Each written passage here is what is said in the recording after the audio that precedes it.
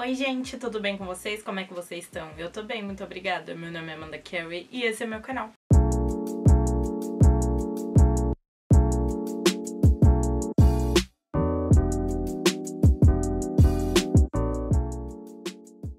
Vídeo de hoje, como vocês viram aí, eu vou falar um pouco pra vocês sobre o meu celular novo, que é o Redmi Note 10 5G. Eu já postei um vídeo aqui no canal falando sobre o meu outro celular, que era o Redmi Note 8, que eu amava muito e eu fiquei muito triste. Eu compartilhei no Instagram com vocês isso, então para quem me segue já sabia. Mas ele infelizmente caiu na privada e não teve conserto. A água realmente estragou ele todinho. Ele tava tão lindo. Inclusive procurei um exatamente igual a ele para comprar, porque eu gostava muito dele mesmo. Só que eu não sei o que aconteceu, que os preços dele subiram absurdamente. Tipo, os que eu achava novos era pra lá de dois mil reais e a maioria que eu achava era usado. Então tive que fazer uma coisa que eu não queria e comprar uma versão diferente. Eu normalmente costumo pesquisar muito antes de comprar aparelhos eletrônicos e essas coisas, mas como o meu celular tinha quebrado e eu não podia mais ficar tanto tempo sem celular, eu meio que dei uma pesquisada rápida, assim. Então eu tava bem em dúvida entre o Redmi Note 10 e o Redmi Note 11. E vendo alguns reviews, alguns comparativos, eu tinha optado pelo Redmi Note 10, né? Porque, sei lá, na hora me pareceu melhor, eu gostei mais dele, achei mais bonito e tudo mais. Porém, o Redmi Note 10 dele tem tipo umas quatro versões e eu não tinha visto isso logo de cara. Então, quando eu achei o Redmi Note 10 por um preço mais barato, eu falei, nossa, perfeito, consegui o Redmi Note 10 por esse preço. Depois que eu fui perceber que era uma versão diferente do Redmi Note 10 normal, que era o Redmi Note 10 5G que foi esse aparelho aqui que está em minhas mãos. Ele não tem, no caso, quatro câmeras, só tem três. Mas enfim, mas antes de eu falar um pouquinho mais sobre esse celular, não esquece de deixar o seu like e o seu comentário aí que me ajuda muito. Também não se esquece de se inscrever no canal e de ativar o sininho de notificações para não perder nenhum vídeo que eu posto por aqui, tá? Opa, gente, vim avisar vocês que agora já tá habilitado aqui no canal a opção do Valeu Demais, que é para você que realmente gosta do conteúdo aqui do canal e quer ver a gente sempre produzindo mais vídeos cada vez melhores e puder fazer a sua doação aí. As doações vão de um real até o quanto você quiser e puder. Então, para você que tem interesse de ajudar o canal aí crescendo cada vez mais, é só clicar no ícone do coraçãozinho que tá disponível aí embaixo. Vamos começar a falar sobre o aparelho. É, eu paguei R$ 1.300, peguei ele meio que numa promoção na Amazon que é um lugar que eu acho bem confiável para comprar aparelhos e essas coisas e chega super rápido. Eu não lembro em que data específica eu pedi, mas eu sei que ele demorou dois dias para chegar. Então, se eu pedi numa terça, ele chegou numa quinta. E logo que ele chegou, eu gravei para vocês o que veio dentro da caixa. A caixinha, no caso, é essa daqui. E dentro dele, como vocês vão estar tá vendo aí na imagem, vem a chavinha que vem para abrir a parte do compartimento onde tem o chip e o cartão de memória. Vem o celular, uma capinha e um carregador. Gente, esse carregador, ele ele é uma coisa assim, uma coisa à parte, né? Porque ele é do tipo UK. Acho que ele é feito.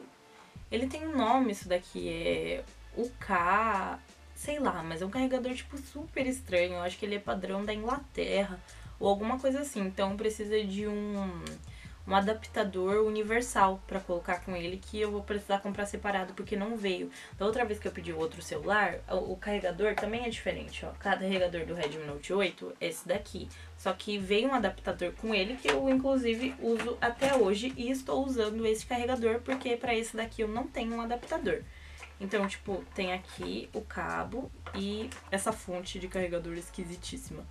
E ele veio com o padrão USB aqui. Tem alguns carregadores novos, que eu acho que a maioria da Samsung, que tem vindo já com essa entrada da tipo C, mas essa não, ele veio com a portinha USB.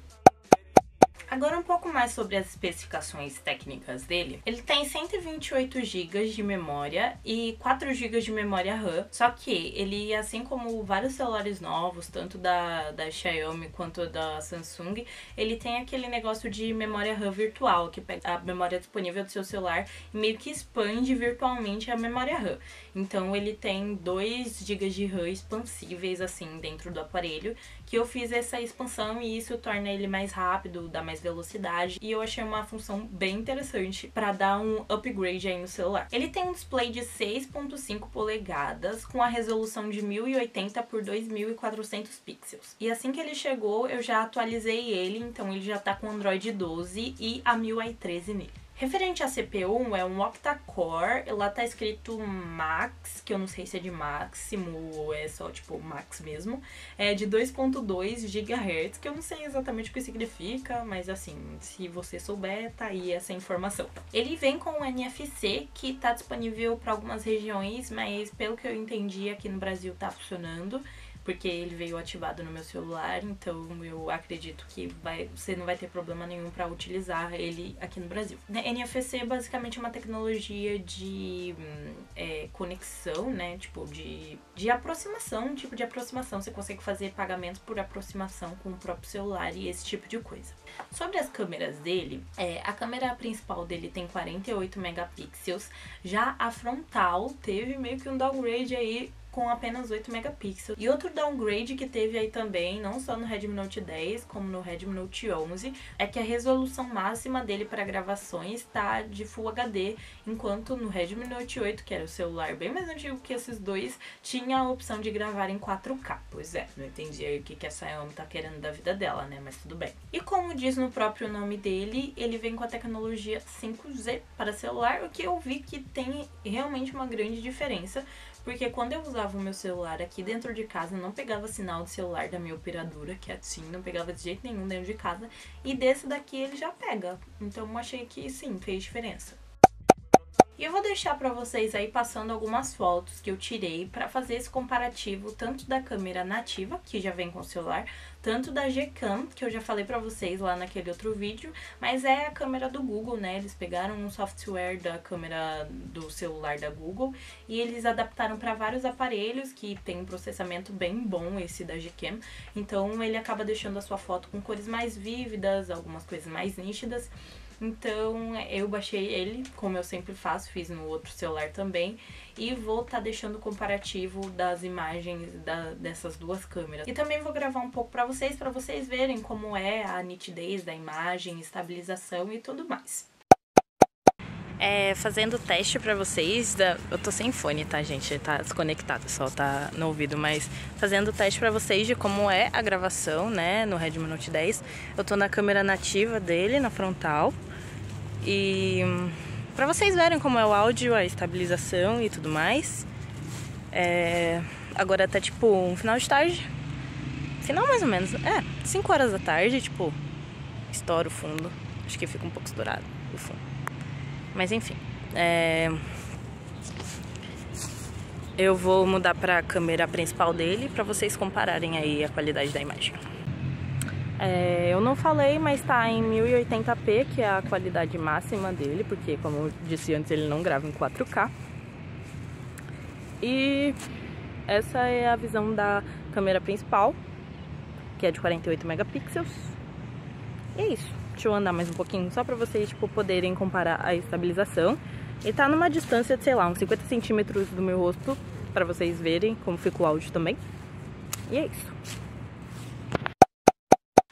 vocês já viram todas as especificações, viram como é a câmera e tudo mais, eu vou mostrar pra vocês ele mais de perto, pra vocês também conhecerem alguns truques e algumas configurações que vocês podem colocar aí no seu celular Xiaomi, se ele tiver atualizado pra MIUI 13. Vamos lá. Como vocês podem ver, meu celular tá bem desorganizado, mas, tipo, não tem problema, porque eu deixei ele assim exatamente porque eu quero organizar depois com vocês. Basicamente, eu quero mostrar algumas coisas bem rapidinhas pra vocês. O primeiro é uma coisa legal que ele tem, que é quando você tá em qualquer aplicativo, ele vai aparecer essa luzinha de sinalização para mostrar se a sua câmera tá ativada ou se o seu microfone tá ativado. Assim, tipo, você não precisa ter aquele receio de é, ter algum aplicativo com uma permissão a mais aí que tá conseguindo acessar a sua câmera ou o seu microfone sem você saber.